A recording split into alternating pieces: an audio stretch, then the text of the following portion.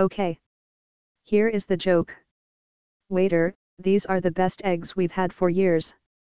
Diner, well, bring me some you haven't had around for that long. Ha ha.